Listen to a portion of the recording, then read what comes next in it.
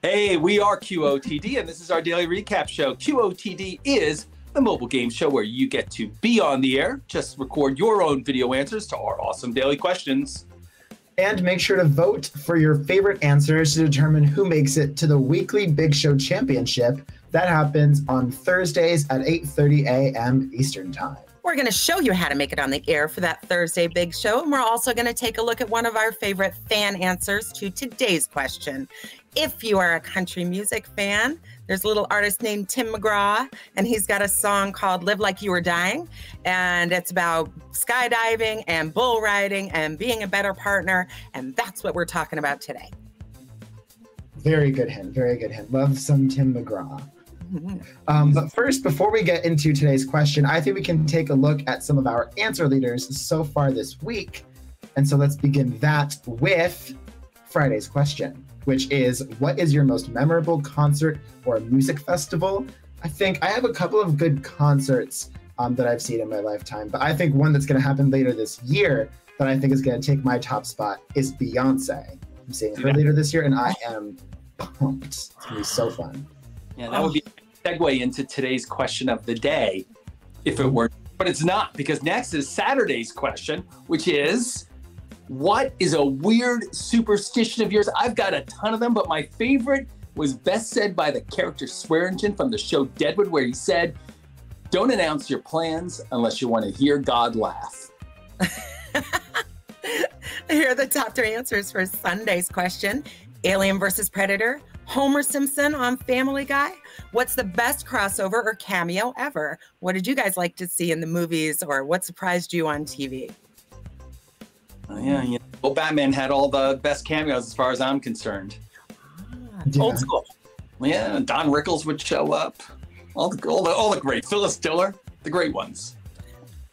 Yeah, the one I always think of is um I heard a lot about Prince and New Girl because apparently he was a huge fan of the show, which if Prince loves your show, I think you've won at life, basically. Oh, I think I need to watch that show now. exactly. Well, actually, I think um, uh, having a Prince cameo on your show is a pretty good segue into today's QOTD question, Mm. which I think we can drum roll before we announce it.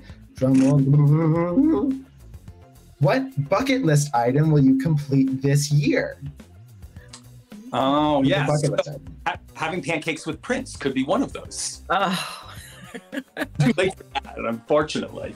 Well, I, I got to say that that for mine, I like all this Daredevil stuff.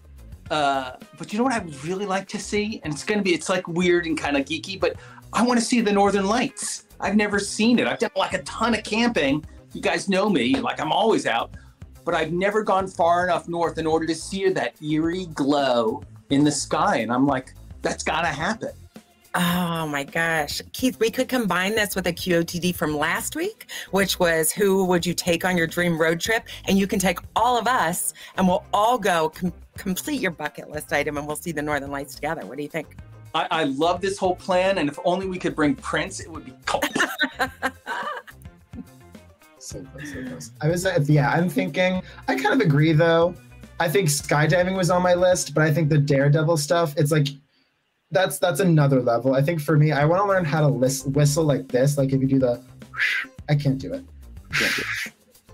I can't do it. Maybe it should be higher on my priority list. How will you ever call your dog until you learn how to do the dog whistle? Huh? Exactly. It's so practical. Yeah. No, I'm gonna do, I'm gonna do it later this year. I'll show up on the show one day and I'll be I'll do that as like my little intro thing, and they'll be blown away. Watch it. exactly. We have our incredible answers to today's question, but we also have a lot of really great answers from fans, even though the question is just a few hours old. So I thought we could take a look at one of our early favorites from answers from across the world. So, receiving the honor of Best Bucket List, we have KB's answer. Let's take a watch. Okay, a bucket list item that I probably will complete this year, hopefully before the year's over, is me having a career job.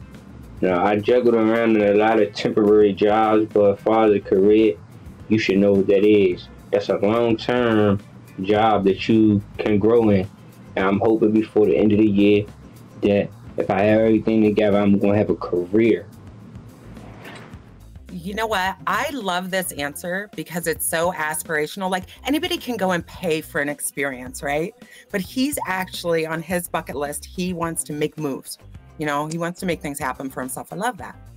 Yeah, it's not like the usual rhymes with bucket list, bucket list item. It's like something which is for real. And I got to say that, you know, I'm talking about what I would like to go and see, but really the kinds of things that I think about, like I've got to get done, are mostly about, you know, making sure that my kids are launched and, you know, is everybody okay around me and like handling your obligations to yourself and to others. So I, I, I like his approach. There's a lot of truth in that.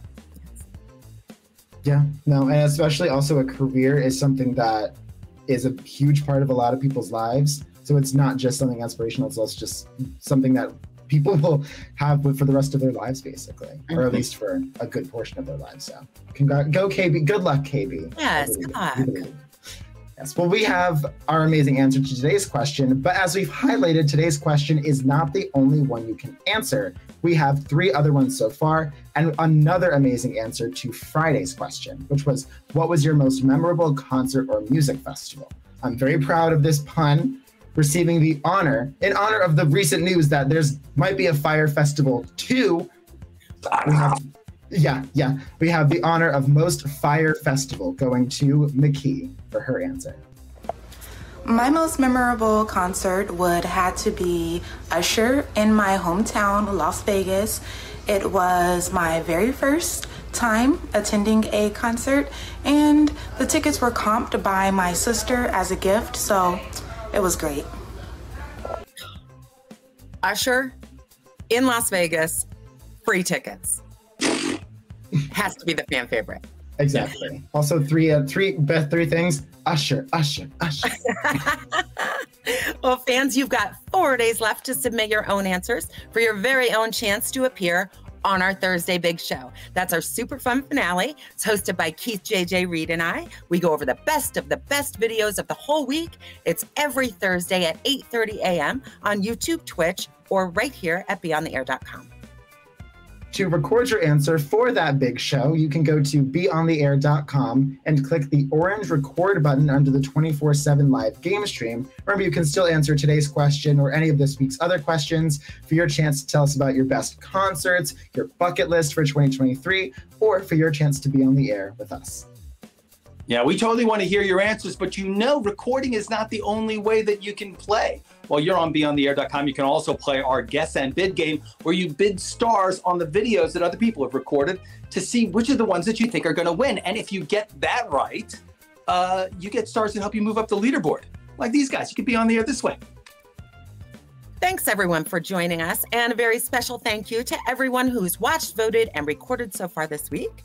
We are QOTD and BeOnTheAir.com signing off, and we'll see you on TV. Bye, everyone. Bye. I still can't do it.